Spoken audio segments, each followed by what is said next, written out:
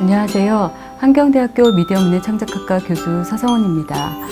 저희 미디어 문예 창작학과는 이름 그대로 미디어 스토리텔링과 순수 문예 창작 전공 두 가지 학문을 함께 배울 수 있는 학과입니다.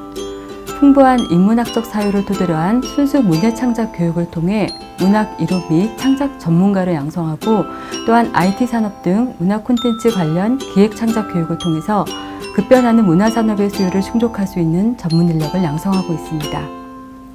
우리 학과 교수진들은 매 학기 밀도 높은 상담 프로그램을 통해 학생들의 대학생활 적응을 돕고 있으며 현장 실무형 인재를 양성하기 위해 웹소설 작가, 카피라이터, 시인 등 저명한 현업 전문가를 초청하여 다양한 실습 강좌를 마련하고 있습니다.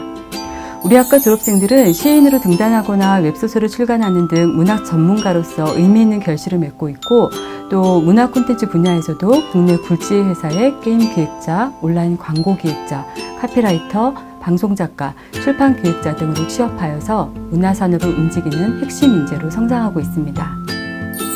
제가 미디어 문예 창작학과를 선택한 이유는 넓은 분야의 전공을 배울 수 있다는 점 때문인데요. 다양한 장르의 순수문학과 함께 현대사회의 많은 미디어 매체들과 그 스토리텔링 기법들을 배울 수 있습니다. 그래서 다양한 진로 탐색이 가능하고 융합적인 지식과 실무 경험을 쌓을 수 있다는 점이 좋습니다. 미디어 문예창작학과에서 제가 가장 좋아하는 활동은 학술제 프로그램 중 하나인 동문 초청 강연입니다. 매년 대여섯 명의 졸업하신 선배님들이 학교를 찾아오셔서 취업을 위해 준비하신 것들이나 실제 하고 계신 일, 취업 전략 등을 알려주시는데요. 진로 탐색과 취업 준비에 커다란 도움이 되고 있습니다. 광고 동아리 오메드에서는 다양한 공모전 준비와 함께 실제 온라인 광고를 제작하고 유통해요. 대학 동아리답게 학생 때만 할 수 있는 광고를 만들고자 자신들이 원하는 아이템을 선택해 실제 광고를 제작하고 전체 한경대학교 학생들과 공유하는 특별한 경험을 할 수 있답니다. 영화 동아리 크랭크인에서는 영화 감상을 하고 그에 대한 비평을 나누며 영화를 표현하는 방법론 등을 연구해요.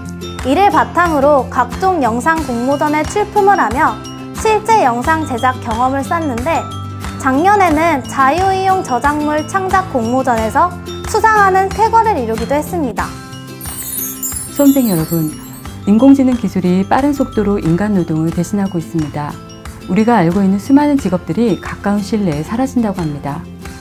로봇으로 대체할 수 없는 인간 고유의 능력에 우리가 주목해야 하는 이유입니다.